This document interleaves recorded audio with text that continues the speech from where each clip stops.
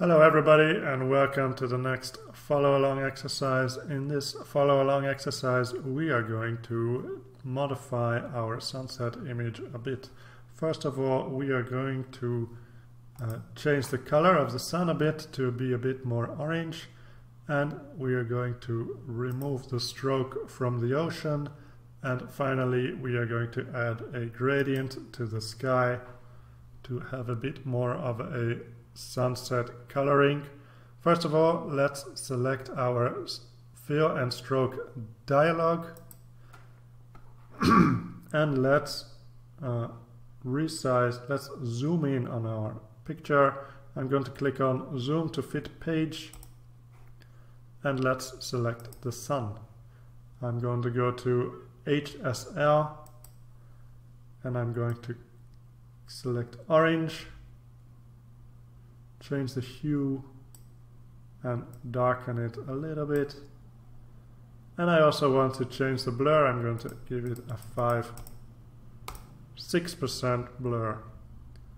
Second, we see here uh, a small line, a black line in the ocean object.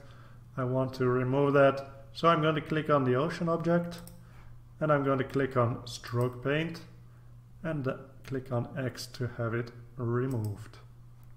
Finally, let's add a radial gradient to the sky. I select the object, I click, make sure to click on fill and the fill tab and I click on uh, the radial gradient button and I click on the edit gradients now I use this square to change the location of the gradient. I want to move it down here. And I want to give the outside of the sky a nice uh, black color and the inside a nice red color. So first of all I click on this circle and I want to change the color to black. In order to do that I decrease the transparency and increase the opacity until it's fully opaque. The inside, I click on the square. I want to change it to red. So I decrease, I increase the amount of saturation and I select a lightness of 100 and 30.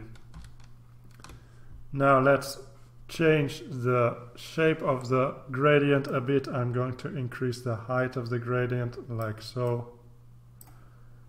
And I'm going to increase the width like so and maybe make some minor movement to the center of the gradient.